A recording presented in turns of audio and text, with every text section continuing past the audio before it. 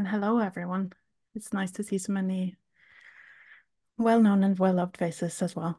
Um, it's very uh, it's very nice and good and um, exciting for me to be allowed to present this project here. Um, and it's fitting in many ways because the original strands for it came out of me being at Woodbrooke um, for a uh, retreat last year. Um, the basic shape of what I'm going to do now is I'm going to tell you a little bit about the project, how it came about and what I've been doing. Um, then I'm going to read a selection of the project for you, showing you some illustrations so you have something to look at while I do.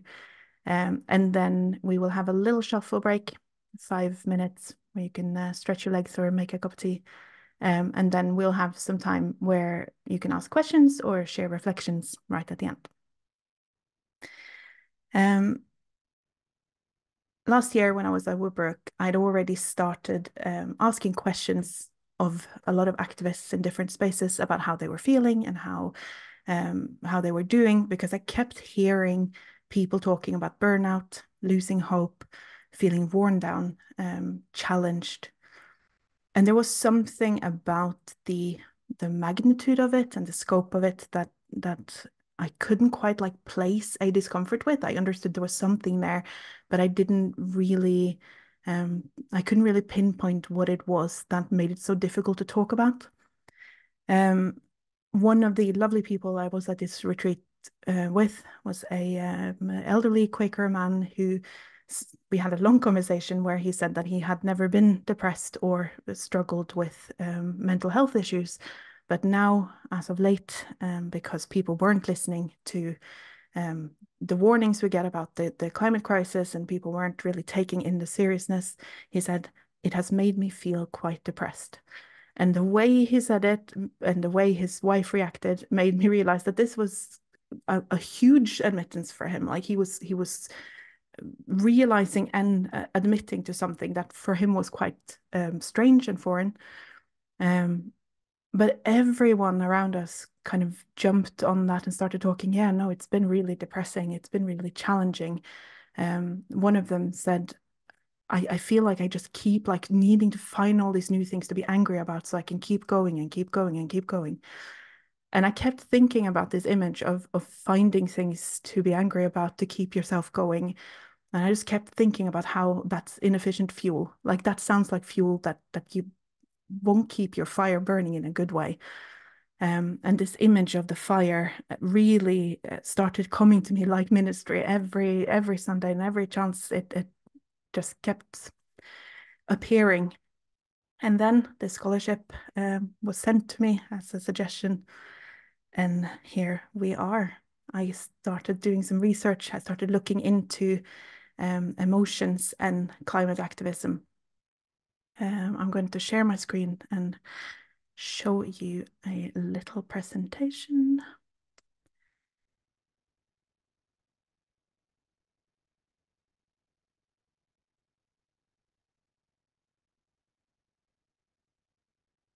You should now see a presentation. Yeah, thumbs up, that's good. So, it turns out that climate activism is quite complicated right from the outset because, as many headlines told me very quickly, they are often fueled by negative emotion, like a lot of activism is. Um, but I also realized that there were a lot of people struggling with the language for this. Um, there's this uh, wonderful extract from a research paper called Towards a Taxonomy of Climate Emotions. Um, that says there is a growing evidence that emotions shape people's reactions to the climate crisis in profound but complex ways. Climate emotions are related to resilience, climate action, and psychological well being and health. However, there is currently a lack of research about the array of various climate emotions. Um, and it really struck me as an odd thing, a, a, like a strangeness that we have this kind of type of activism or type of reaction that is so strong that we need like a separate taxonomy for the emotions of it. Um, Climate anxiety as global study reveals three in four young people think the future is frightening. That was one of the early um, articles on climate anxiety. We also do research about what makes us spring into action. Anger is most powerful emotion by far for spurring climate action, study finds. Um, this article spoke a lot about, also the study spoke a lot about how um, anger made it more likely that you would get into climate action than hope. But it didn't really talk about how you stay inside climate activism.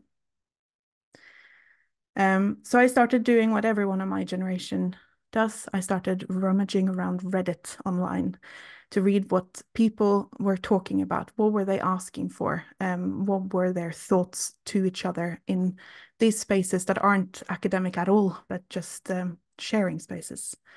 Um, and this was a, a woman who's who wrote a post that was headlined "How do you deal with climate despair?" Um, and she wrote, "Sometimes living sustainably makes me feel happy, in control, peaceful. Other times, the weight of the world and how far we have still to go feels crushing." I've been reading the good news, but I'm really despairing over the reality that life as we knew it is fading away. And even with all the good we've been doing, it's just not likely to recover. Um, and I've bolded a sentence or a part of a, a, sentence there, and even with all the good we've been doing. Um, and this is a thought that I saw started repeating that there was this feeling that like we're doing all of these good things, but it never stops. It just keeps going. It it's still just unrelenting every day. And I thought, but is this new really? Haven't we seen kind of shapes of this? Um, one of the beautiful replies she got, which it makes me giggle. I don't know why, but she says, All I can think of to tell you is to keep fighting, keep that fire burning, help to spread the truth, to stomp out misinformation, and don't give up or give in to your despair. I'm a two time cancer survivor and I never give up. Um, and I thought it's beautiful, but also kind of sad that like the the the I don't know, the, the kind of the gravitas behind telling you not to give up is that you're a two-time cancer survivor. Like this is this is grief, like big grief that we're dealing with. With they are the, the people with sort of the experience to tell us what we're we're working with. But I kept asking, like, how is this different? Like, why is this activism, this climate crisis, so difficult for us to talk about the emotions of in a um, in kind of a supportive way like how do we talk about the hope and and the resilience and how do we talk about like keeping going um in such a different way when we've had so much activism in the past there's so many situations where we had to work consistently over time to achieve very difficult and hard things um, and I got some suggestions. Uh, one of them is that we haven't really seen what like situations that that encompass so many, where so many are affected, um, and at least not in recent years or in, in recent history. Um, and that made me think of this image, which I'm sure you all know of Ruby Bridges. Um, one of the first, the first um, young black girls on a school that had been all white in Louisiana, she received death threats. There were loads and loads of adult human beings standing there yelling harassment and abuse at her uh, as she entered and exited school. Um, she turned 70, turned 70 later this year, actually. Um, this is her just a few years ago. It is recent history. And for her and her family and her neighbors and her neighborhoods and so many other people, this was a huge and widespread and sort of life-threatening thing. Um, another suggestion that I got is because we haven't really like seen other big issues in recent times, which we know just kind of by evidence and, and things like um, Black Lives Matters in just the recent couple of years and Me Too and stuff like that isn't true. But also like Bitcoin was invented and launched in 2009. And in 2010 was the first time the European Court of Human Rights um, admitted or, or confirmed that stable relationships of cohabitating same-sex couples fall within the notion of family life. So we've had Bitcoin longer than we've had the definition of same-sex couples as um, protected family life. Um, this couple um, were the first same-sex couple to get married in uh, England. Their 10-year anniversary hasn't happened yet. It is later this month. So recent history, current issues. Um, and I was fascinated by how many Quakers have been so active in activism, so active in activism for a long time in many of these causes and cases as very, very active and kind of enthusiastic and sacrificing allies. And that started triggering something for me that this is a different situation exactly because we are like there are no allies. We are all the affected um, which means that we have large groups of different uh, activisms who have experience being in the position of fighting for survival for your own you know your children and might go generations back but we also have large group of activists who are feeling the unrelenting force on it, of it on their body for the very first time.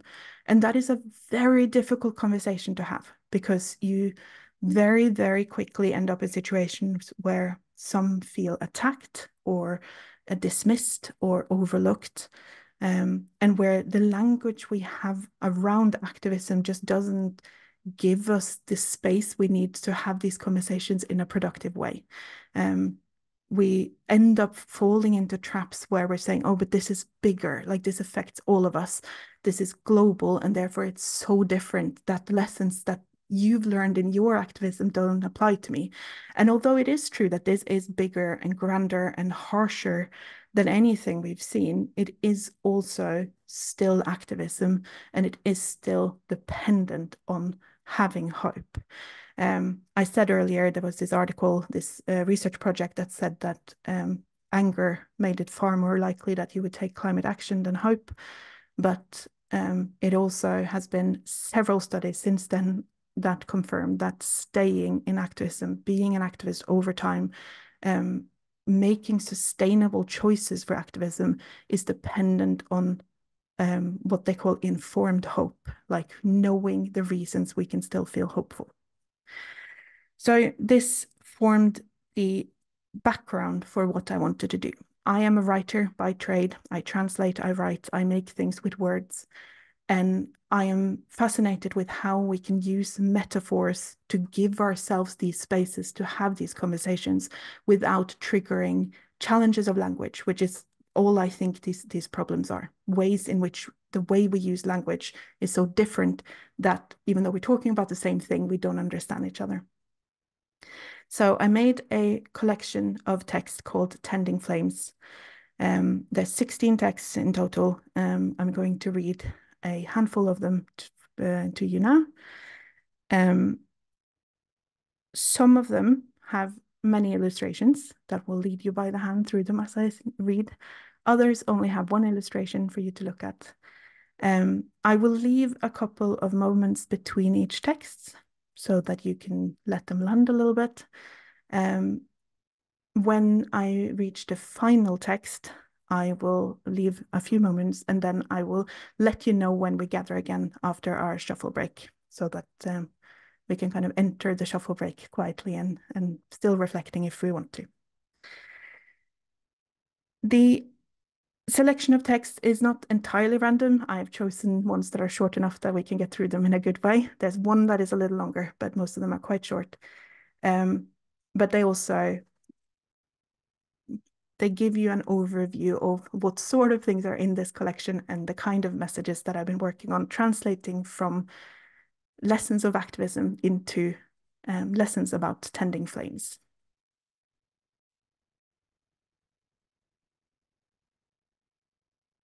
The first text is called Tending the Flames. There are things we've always known about fire, and there are things we've had to learn over time. We've always known that fire can be dangerous, but we've had to learn that it can also be kind, Knowing how to tend the flames, how to feed them, fan them, keep them going, has been crucial to our survival for at least a million years. In short, we know a lot about fire. Activism is exhausting at the best of times. Standing up for what is right is difficult work, especially when what is right doesn't align with the way things have been, what is profitable, or what keeps the powerful in power. And rarely have we seen this as clearly as we do now during this ongoing global climate crisis. We watch our politicians sign climate pledges with one hand while reopening coal mines with the other. We repeat, reduce, reuse, recycle like an encouraging chant, while every available surface seems plastered with the message buy more, more often. Being a climate activist can feel like standing up to the sea, like trying to protect your sandcastle from the approaching storm. It can feel terrifying and ultimately hopeless. You may feel tired. You may be tempted to give up. You may feel drawn towards anger, hopelessness, or despair. There may be questions ringing in the back of your mind, like, how do I keep going when people aren't listening? Why am I making these sacrifices when no one else seems to care? Why should I commit when our politicians don't? Because it is right, may be the answer, but over time it can start to feel like a sneer. You are not alone. We are not alone. There is a quiet cheer on the wind from all those who came before. We are not the first. We are not the first to race against the tides, not the first to be weak in the face of the powerful. We're not the first to march for our rights or the futures of our children. We're not the first to fight for survival. There are lessons to learn from those who came before us, those who had to march against the tides to change opinions, those who burned against the darkness to win us our freedoms and rights. And although this challenge feels inconceivably huge and threatening, there is hope. The climate crisis is not a force of nature, it is a monster of our own making. The powerful are not legends or gods, they are people. Capitalism is not an ocean, it's a habit. And the darkness is not complete. You are holding a torch like the activists who came before, we have to keep moving. We have to keep our fires burning and hold out for the dawn. We are resilient and we are strong. We have hope and there's still time. This is why we talk about burning, to remind us to tend the flames.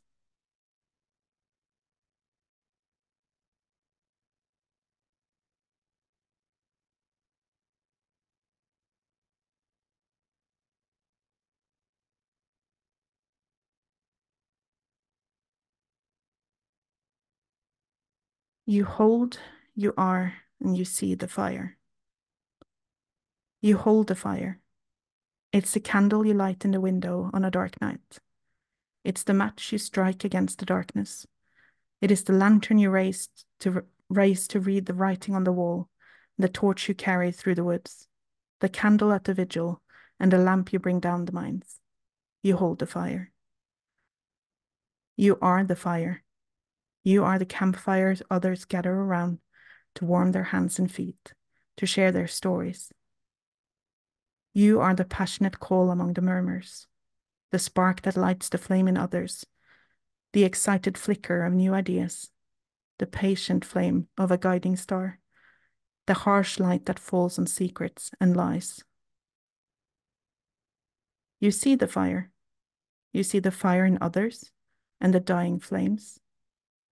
You see the sparks and flickers, the campfires and the stars. Take notice. You feel the fire. At the center, down where it's quiet and still, you feel the warmth and see the light that burns eternal. If you listen, you will hear it speak. You feel the fire when you seek it, and only you can name that still small voice.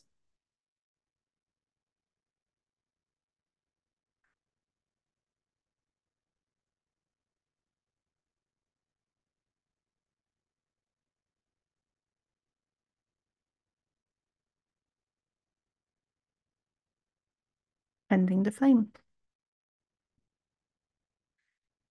If your house is heated by electricity or gas, or you grew up somewhere warm, wood burning fires may hold a romantic spot in your mind.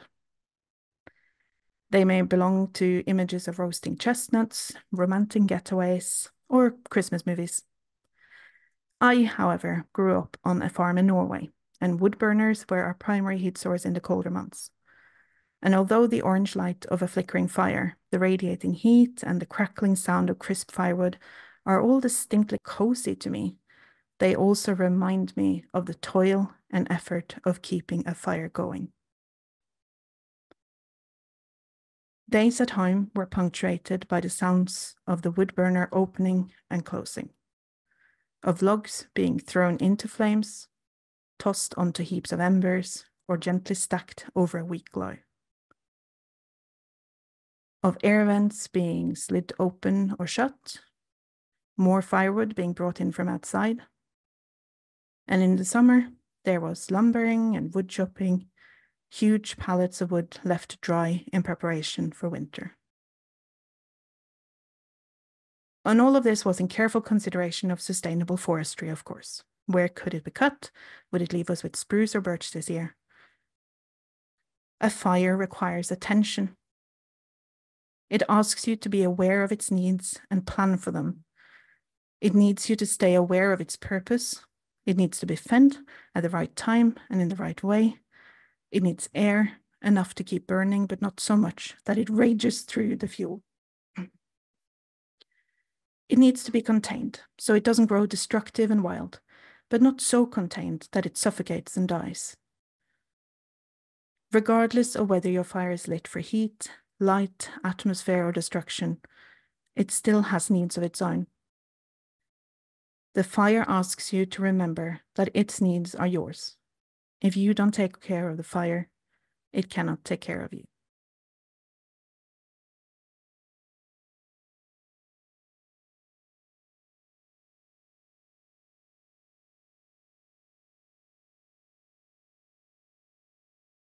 Feeding the flame. It may seem complicated to keep a fire burning, but it really is very simple. A fire only needs three things fuel, oxygen, and heat. When someone tells me they feel like they're burning out, the first thought that springs to mind is always how are you feeding your flame? We know that flames need to be fed, but we rarely pay attention to what we feed them. And perhaps more importantly, we don't think about why it matters. Some things burn quickly. They burn with a bright, hot flame and are gone in a matter of minutes. These things catch fire at the slightest spark, but flicker out just as quickly. It can be addictive burning this kind of fuel. It's exciting to watch it flare and feel the intense heat of the flame. These flames can cut through metal and melt rocks into lava. This can be very useful, or this can be very destructive. Some things burn poorly, with weak flames and thick, dark smoke or noxious gases. It can be difficult to make these things burn at all. They're too wet, wet or need too much heat to get started. They may leave behind too much residue, making it harder and harder to keep burning over time but these fuels are often cheap and readily available. They will keep you warm enough to survive and cast just enough light to see the next few steps in front of you. They will keep you going, at least for a while, but they're rarely good. Some things burn with steady, warm flames and clean ashes. They cast light in a larger area and gives you enough heat to warm others. These fuels are very rarely exciting. They're rarely cheap. Often they're heavy and must be patiently gathered and gathered with intention. They often have to be sought out, they often have to be chosen, but they'll burn long and they'll burn well. Some of these fuels are good and sustainable, others are not. They can be toxic and they can be harmful to you and others. Some are plentiful, and others are only available to those who can afford them. Some fuels catch fire in a split second and bring the whole building down. They explode in fiery infernos and destroy everything in their path. The damage can linger or be quickly forgotten. Some things won't burn at all. They may have no effect on the fire whatsoever, or they may quell it, smother it, suffocate, drench, or snuff out the flames, sometimes forever, sometimes for good. So, what do we feed our fires? So very many things. Here are some violent passions, righteous indignation, anger, anxiety, entitlement, greed, or lust, guilt, fear, obligation, shame or irritation, resignation, discomfort, a desire for attention, a want to be seen doing the right thing, hope, a sense of community, kindness, excitement, a desire to be right, a sense of justice, courage, a desire for power, the wish to make a difference, the wish to leave a mark, the wish to help those who can't help themselves, the wish to help yourself, faith, passion, or curiosity. Rage or desperation, apathy, depression, hopelessness, complacency, conscious ignorance, or cowardice. What do you burn?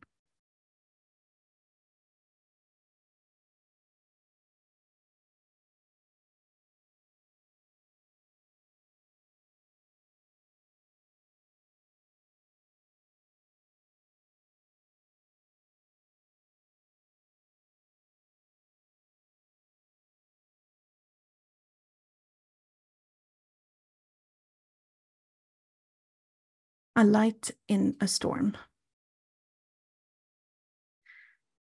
There is a kind of storm that makes the heart feel small. The wind howls and the rain whips. Thick clouds darken the sky like a bruise. The creaking of trees threatening to fall, the clatter of debris tumbling through the air. A storm is a cacophonous being, a dangerous space, a creature of force and fear you cannot fight a storm. But you can hold a light. Hold it high. Be a beacon showing the way back to shore, out of the woods, out of the rain. A storm is a scary place, and the bravest thing you can do is be in it. Find shelter, seek refuge, and tend to the flame. Place a candle in your window, in every window. Light the fire and put the kettle on be the refuge and the fire for those who shamble through the night, stumble through the woods. You cannot fight a storm, but you can hold light.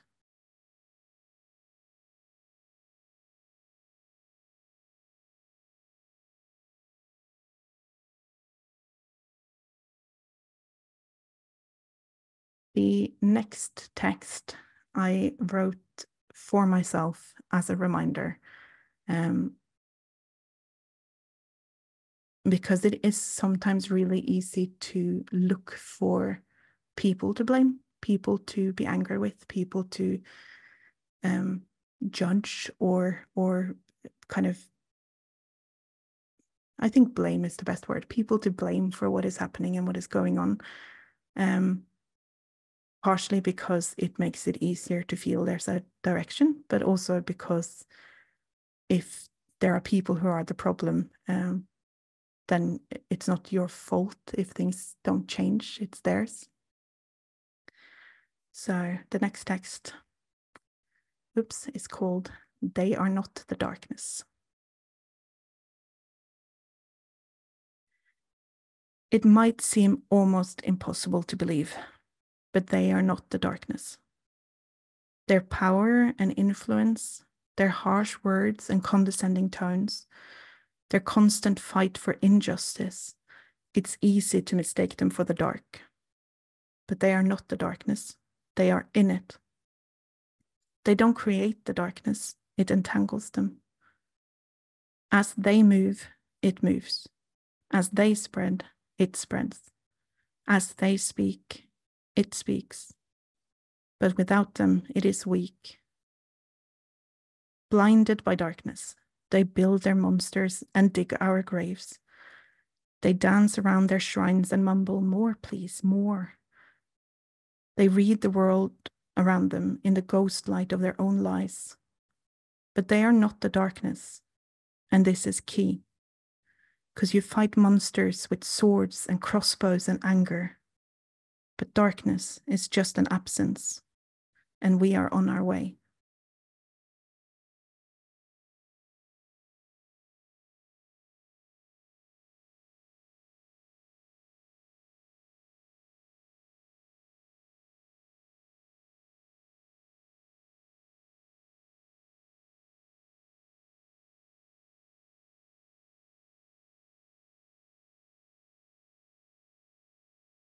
Those who cling to darkness.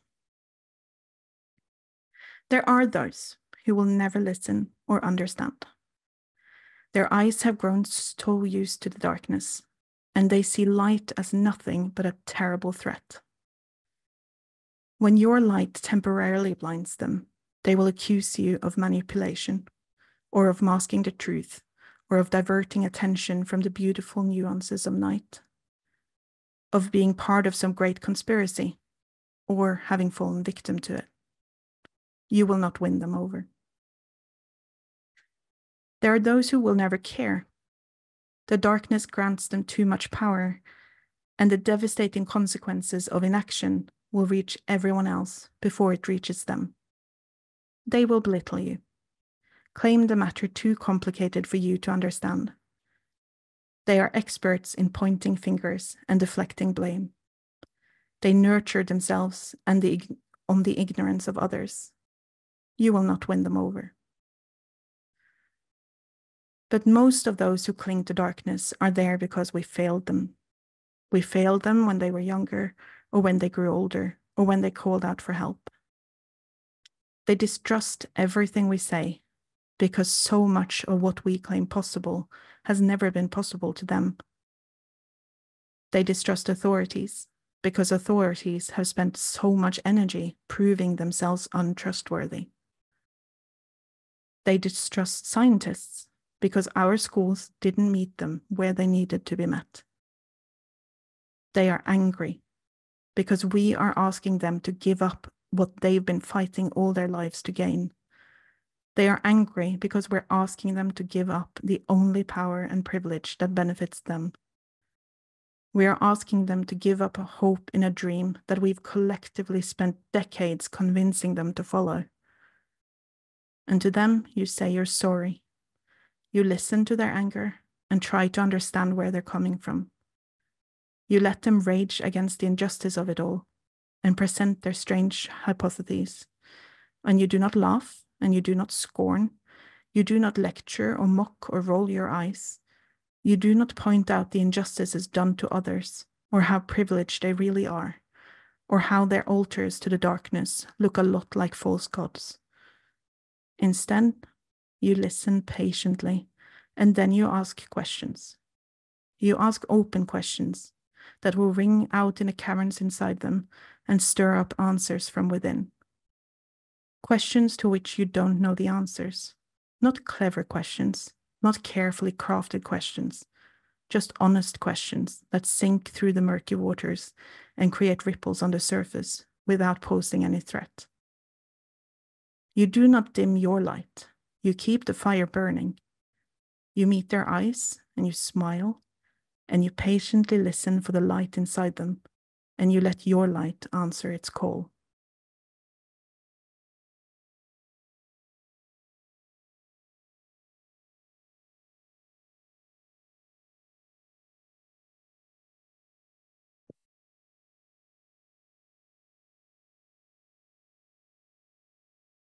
Being an artist with ADHD, I have not decided on a title for this next text. So it is for all eternity called There is More to Do, brackets, the campfire. Climb the barricades, tear down the fences, dismantle the forces and stand up against injustice. Spread the message, be loud, be proud, be fearless and cunning and brave and persistent, and march. Arrange a candlelight vigil and a protest and an exhibition. Chain yourself to a tree or to your friends and be in the way. Disrupt, break it down, cause a commotion, and find alternatives. Stay calm. Speak with a clear voice. Give them reasons. Show them what we can do, what you can do, and don't lose hope. Shout. Do everything. Do all of this. Or don't. There is more to do. Someone has to light the campfire. Make spaces where others can come back to lick their wounds. Someone has to serve the teas, make the coffees, and put the kettle on.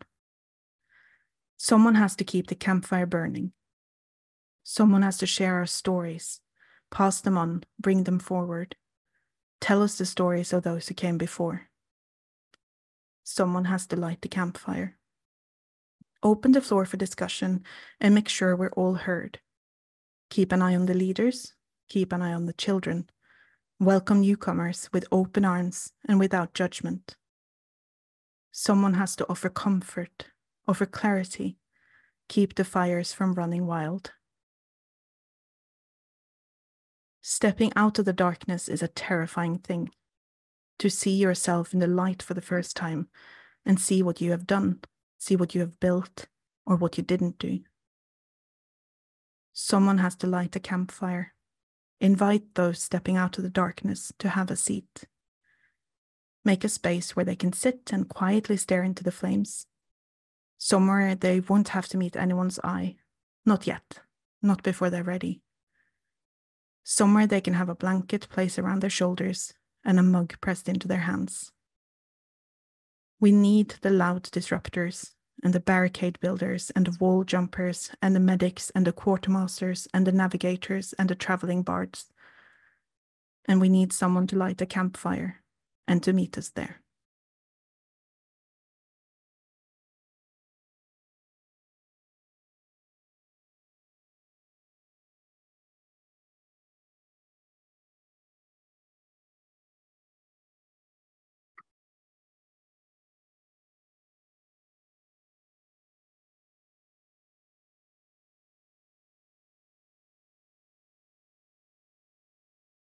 You didn't start the fire. My grandfather, he taught me a song, and it was a song that we sang after Christmas dinner in my family, and still do. It has always been clear to me that this song is important. My great grandmother brought this song to my great grandfather's farm when they married in 1907, and we know that her mother had grown up singing it too. We don't know how long it has been sung in my family, but we suspect it's been sung for a very long time. The first translation of the song appeared in Norwegian in 1569. And despite there being later translations that are much more common and much more widespread, and there being a later melody that is all but established as the melody at this point, it is this first translation of the song, or a version of it, that has made its way down to me. As a child, I felt the song was like an heirloom. It was something valuable and precious that I mean passed from hand to hand down the ancestral line, something that had to be protected at all costs. And I railed against these others, more established versions of the song. I felt they sullied the purity of our song, cheap replicas of a true masterpiece. When other people told me that they too had a version of the song traveling down their family line, I would silently doubt the validity of their versions. Had it traveled as long as ours? As purely as ours? Had they really sung it every Christmas? Like many children, I assumed my experiences were unique and superior. The way my beautiful grandfather's thunderous voice had carried the song all these years, that surely had to be better than what some stranger's wobbly voiced grandmother had managed to do. Of course, I grew out of this way of thinking, but to my discredit, I stopped thinking very much about it at all. When my grandfather died, he was a hundred years old. He died right before Christmas, and out of nowhere, I suddenly felt the song was a burden, a responsibility. This flame that had been passed from generation to generation, but as soon as my grandfather's flame flickered out, I suddenly got scared. What if we didn't make sure the next generation's candles were lit? Then the song itself could die. How could we make sure the song remained true? And what if we messed it up? What if we corrupted it somehow? Now, of course, I shouldn't have worried because we sort of already had. When a song is only sung once a year, it is bound to transform over time. For years, we had occasionally discussion, occasional discussions about some of the words, and we knew they were a little different, updated and slightly altered from the ones in my grandfather's old hymnal. We sang the song on Christmas Eve the year my grandfather died, and we sang it again a few days later at his funeral. That's when we learned that some of my grandfather's 11 siblings had continued the tradition too. They had sung the song with their children, who had sung it with their children, and now we were a mighty choir singing this simple song. We were one choir and one big family, but we were also several individual families singing side by side. The words were not exactly the same from family to family, and the tune had been shifted up or down here and there. Over time, the flame had grown and changed, but it had kept moving. Each of us was carrying the flame. We weren't the custodians of some unique heirloom, but bearers of a flame that was lit in a thousand other families in a thousand different ways. And there was comfort in that. Although many had blown out their candles or chosen different paths, there were still more people singing in that room than there had been around my grandfather's childhood Christmas table the song would keep moving as long as some of us kept passing it on. I sometimes think of that song when I see young or new activists shaking under the responsibility of saving the world. When the severity of the planet's situation dawns on them, they might clutch their candle until their knuckles whiten, terrified that they will be the one who drops it after all this time. Like me, they may be scared to death that they'll somehow corrupt it change it, get it wrong. And no wonder. If you think you're holding the only flame, the one true burning flame, sitting down to take a break feels impossible. Because what if a storm rolls in? What if night falls? What if you fall asleep and drop the candle? When you feel the weight of the world on your shoulders, I invite you to look up. You didn't start the fire. It has been carried for a long time, generation after generation. Sometimes it has been weakened, sometimes strengthened, but it has made its way far, far, and now we're many. Your flame is important, maybe even crucial, but your flame is not the fire. For older activists, too, it can be frustrating to see new activists fight in unfamiliar ways. Sometimes they change the wording of the narrative that you have fought so hard to push, or they'll turn focus away from your preferred cause, suggesting that a different focus matters more, is more urgent.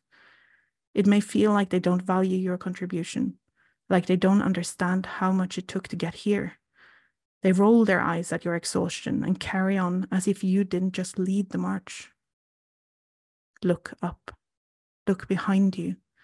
Look at the long train of flames slowly marching towards a common goal. The train stretches back through time and forward through the darkness, and it links us all together in the hope for a better day. Your flame is important, maybe even crucial, but your flame is not the fire. Change might happen fast or slow, and it might not happen soon enough. But the flame will keep moving as long as we keep passing it on. The fire will keep burning as long as someone carries the flame.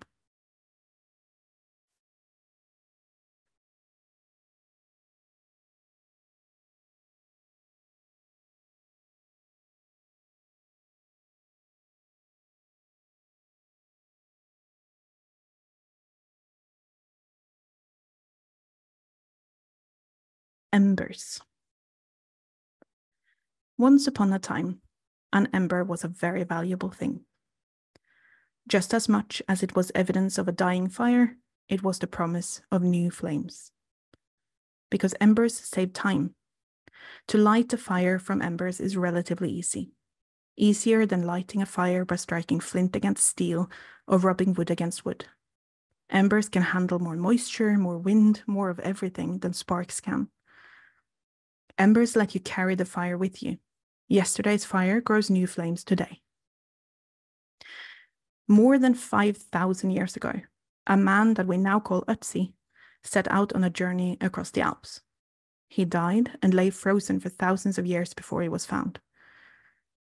But we know now that as he traveled across the mountains, he carried a birch pouch dedicated to fire. It contained dried mushrooms, of a kind that burns well, iron pyrite for sparks, and two embers wrapped in maple leaves, remnants of a previous fire. We know that Vikings boiled a particular kind of fungi in urine for several days.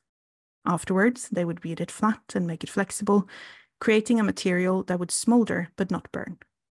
This way, they could carry their scalding hot coals, bring fire from home with them on their journeys.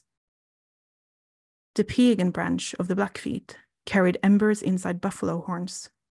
The beast they roasted on the fire provided the tools to carry the fire forward and we throw water on our campfire before we leave it, as we know there might still be embers under the ashes. They might still smolder and glow.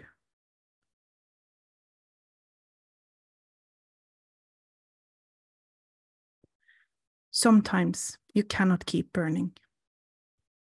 Perhaps you run out of fuel, or the night is too long, or you simply can't stand it anymore. Then you can stop, take a breath, don't let yourself burn out. The flames are not the fire. Keep your embers safe. They need air, but not too much. You can wrap them in insulation and walk until you're ready. You can cover them in ashes until morning comes. Then you blow on them gently and feed them dry kindling, and your fire can burn again. Rummage around in your mind until you find the fire pot you inherited from those who came before you. Make yourself a fire pouch of perseverance and loving kindness. Keep your embers safe. Now, as much as then, an ember is a very valuable thing. Just as much as it is the evidence of a dying fire, it is the promise of new flames.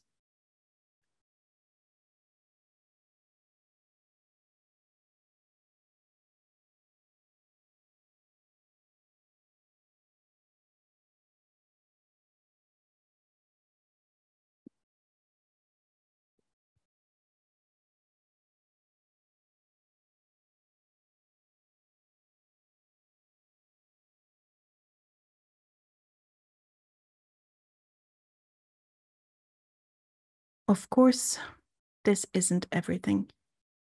Of course, it's not enough. We cannot save the world with only words or flames or fire. We keep the fire burning, tend the flames, and feed them well.